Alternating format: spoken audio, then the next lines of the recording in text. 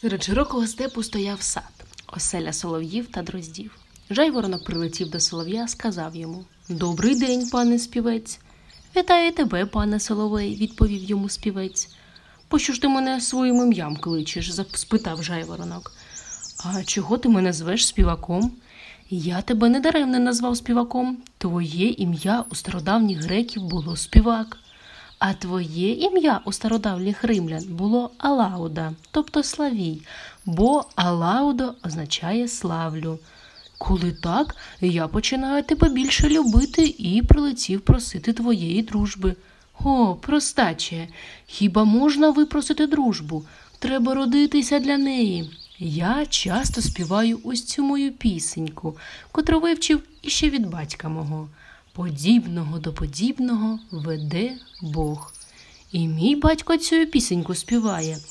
А я до тебе, як і у іншому, так і усьому подібний. Ти співаєш пісню природі, усьому живому, а я славлю природу, і всьому, власне, власне, весь наш глуст. Гаразд, я з тобою потоваришую, якщо ти в саду житимеш. А я буду щирим твоїм прихильником, коли ти оселишся у степу. Ой ні, не тягни мене в степ.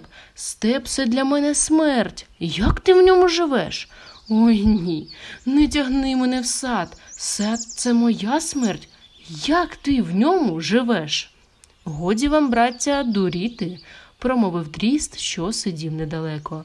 Бачу, ви народжені для дружби, але не тямите любові.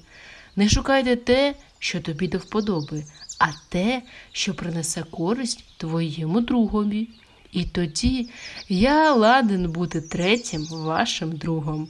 Потім кожен по-своєму, заспівавши, затвердили вічну дружбу. Сила. Цими трьома птахами визначається добра дружба. Дружбу годі випросити, купити чи силою вирвати. Ми любимо тих, кого любити нам природою дано. Це так само, як споживаємо те, що природі дано. Щасливий той, хто хоча б тінь доброї дружби зумів здобути. Нічого немає дорожчого, солодшого і кориснішого за дружбу. Є й на Вкраїні приказка не май сто рублів, а май одного друга.